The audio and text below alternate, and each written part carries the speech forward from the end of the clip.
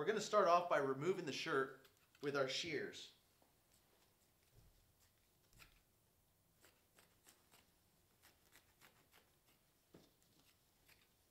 We're gonna expose the patient's chest, and now we're gonna take out our AED, turn it on, and follow the directions. Remove clothing from the patient's chest. Open packet and apply pads onto patient's bare skin. Apply pads as shown in the pictures. Open packet and apply pads onto patient's ba- press pads firmly on skin. Apply pads as shown in the pictures. Apply pads as shown in the pictures. Press pads firmly on skin.